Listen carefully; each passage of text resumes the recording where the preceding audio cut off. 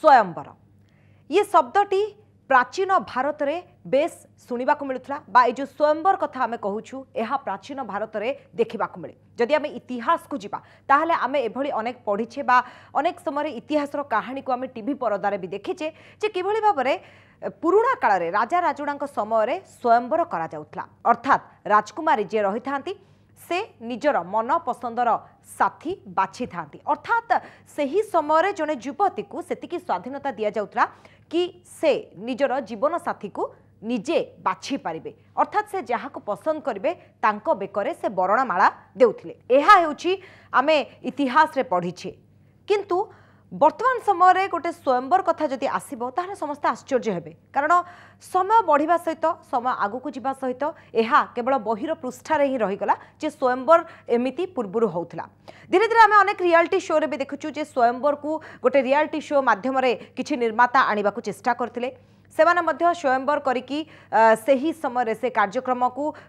লোকপ্রিয়তা ମଧ୍ୟ ନେଇପାରିଥିଲେ କାରଣ ଯେତେବେଳେ ଆମେ ସ୍ୱୟଂବର କଥା ପଢ଼ିଛୁ କିନ୍ତୁ ଯେତେବେଳେ ଆଖି ସାମ୍ନାରେ ଦେଖୁଛୁ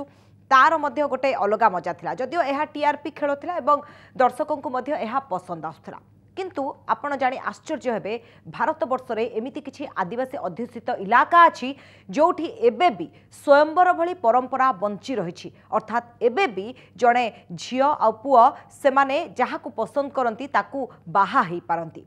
আভি দেখা মিছে বিহারে ବିହାର ଭଳି ରାଜ୍ୟରେ ଗୋଟିଏ ଆଦିବାସୀ ଅଧ୍ୟୁଷିତ ଇଲାକାରେ ଏଭଳି ଗୋଟିଏ ପରମ୍ପରା ରହିଛି ଗୋଟିଏ ପର୍ବ ଅବସରରେ ଏହି ପରମ୍ପରା ଦେଖିବାକୁ ମିଳେ ତେବେ ଚାଲନ୍ତୁ ଏ ପର୍ବ ବିଷୟରେ ଜାଣିବା ଏବଂ କେମିତି ହୁଏ ସ୍ୱୟଂବର ସେ ନେଇ ବି ଜାଣିବା ତେବେ ଯେଉଁ ସତଶତିକା ସ୍ୱୟଂବର କଥା ଆମେ କହୁଛୁ ଏଭଳି ସ୍ୱୟଂବର ଆୟୋଜିତ ହୋଇଥାଏ ବିହାରର ପୂର୍ଣ୍ଣିଆ ଜିଲ୍ଲାର ମଲିନିଆ ଗାଁରେ ଏଠାରେ ଯେଉଁ ଆଦିବାସୀମାନେ ରହନ୍ତି ସେମାନେ ସ୍ୱୟଂବର ମାଧ୍ୟମରେ ବା ସ୍ୱୟଂବର ପରମ୍ପରାରେ ପରସ୍ପରର ଜୀବନସାଥୀକୁ ମନୋନୀତ କରନ୍ତି ଆଷାଢ଼ ମାସରେ ଗାଁରେ ପତ୍ତା ମେଳା ଆୟୋଜିତ ହୁଏ ଆଉ ଆଖପାଖର ଯେତେ ଅବିବାହିତ ଯୁବକ ଯୁବତୀମାନେ ରହିଛନ୍ତି ସେମାନେ ଏହି ପତ୍ତା ମେଳାରେ ଆସିଥାନ୍ତି ଯୋଗ ଦେଇଥାନ୍ତି ମେଳାରେ ଯଦି କୌଣସି ଯୁବକ ଅନ୍ୟ ଯୁବତୀକୁ ପସନ୍ଦ କଲେ ସେ ସାଙ୍ଗେ ସାଙ୍ଗେ ସେଇ ଯୁବତୀଙ୍କୁ ପାନ ପଠାନ୍ତି ଅର୍ଥାତ୍ ତାଙ୍କର ଗୋଟେ ପସନ୍ଦ କରିବାର ମାଧ୍ୟମ ହେଉଛି ସେମାନେ ପାନଟିଏ ସେ ଯୁବତୀଙ୍କ ନିକଟକୁ ପଠାଇଥାନ୍ତି ପାନ ଯୁବତୀ ଜଣକ ଯଦି ଖାଆନ୍ତି তাহলে সে রাজি বলে জনাপড়তে অর্থাৎ যদি যুবতী জনক সে যুবক পছন্দ অনেক এই যুবক জনক যে পান পঠাই থাকে যদি সে যুবতী খাই থাকে তাহলে সে জাঁতি যে যুবতী জনক তা বহ করা রাজি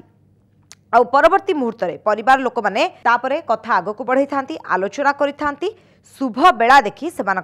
বিবাহ করতে তবে ମଲ୍ଲିଆ ଗାଁରେ କେବେଠାରୁ ଏ ନିୟମରେ ବାହାଘର ହେଉଛି ଏ ଯେଉଁ ପତ୍ତା ମେଳା କୁହାଯାଏ এই পত্তা মেলা অবসরের গছ উপরে যেভাবে ভাবে মঞ্চা সদৃশ গোটিয়ে বন্ধা যাই এবং এই যে মেলা আয়োজিত হয়ে আখপাখ গাঁর যুবক যুবতী মানে আসতে সে সেই মেলা মাধ্যমে নিজের জীবনসাথী চয়ন করে থাকে অর্থাৎ বর্তমান সময়ের বর্তমান যুগরে বি এভাবে পরম্পরা সে বঞ্চাই রাখিছেন যদি আমি দেখা বিহারের পূর্ণিয়া জেলার এ পরম্পরা আজি বি বঞ্চি রয়েছে এবে ବି ଏଇଭଳି ଭାବରେ ଯୁବକ ଯୁବତୀମାନେ ନିଜର ଜୀବନ ସାଥୀ ବାଛୁଛନ୍ତି ଅଧିକ ଖବର ପାଇଁ ଦେଖୁଥାନ୍ତୁ କନକ ନ୍ୟୁଜ୍ ଡଟ୍ କମ୍